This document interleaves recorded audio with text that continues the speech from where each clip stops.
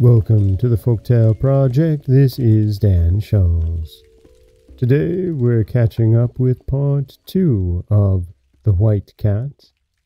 And in part one, we saw a king not really about to die, but feeling older, decides that the best thing to do to keep his sons from trying to oust him from the throne is to send them off on an adventure. And whoever brings him the prettiest dog, well, they'll become the next king, whether he be the oldest or the youngest. And so we're following the adventures of the youngest son as he hunts for the most beautiful little dog. And where we left him, he had discovered a castle that he had never known. And at the castle, well, it was very richly appointed, at least on the outside. And that is where we leave off. The young prince staring at a deer's foot hanging by a thread of diamonds. This is The White Cat, Part 2. They must feel very secure against robbers, he said to himself. What is to hinder anyone from cutting off that chain and digging out those carbuncles and making himself rich for life? He pulled the deer's foot, and immediately a silver bell sounded, and the door flew open. But the prince could not see anything but numbers of hands in the air, each holding a torch. He was so much surprised that he stood quite still, until he felt himself pushed forward by other hands, so that, though he was somewhat uneasy, he could not help going on. With his hand on his sword to be prepared for whatever might happen, he entered a hall paved with lapis lazuli, while two lovely voices sang, The hands you see floating above will swiftly your bidding obey. If your heart dreads not conquering love, in this place you may fearlessly stay. The prince could not believe that any danger threatened him when he was welcomed in this way, so, guided by the mysterious hands, he went toward a door of coral, which opened of its own accord, and he found himself in a vast hall of mother of pearl, out of which opened a number of other rooms, glittering with thousands of lights, and full of such beautiful pictures and precious things that the prince felt quite bewildered.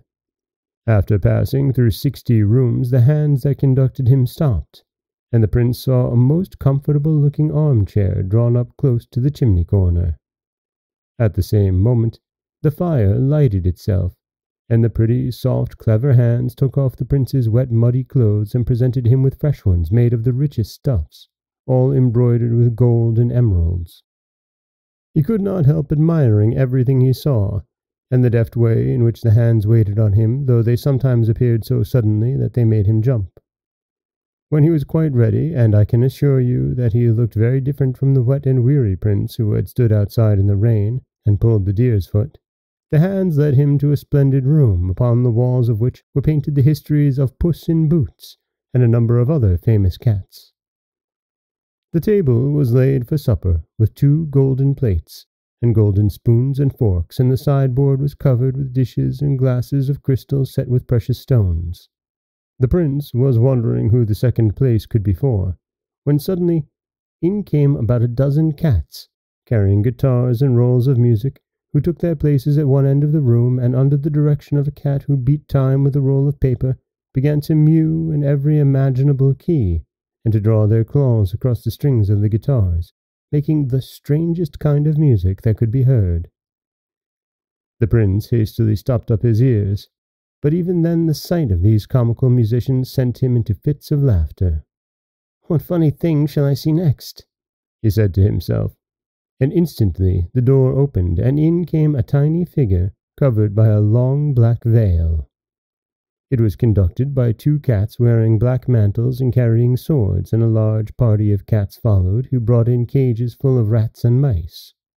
The prince was so much astonished that he thought he must be dreaming, but the little figure came up to him and threw back its veil, and he saw that it was the loveliest little white cat it is possible to imagine.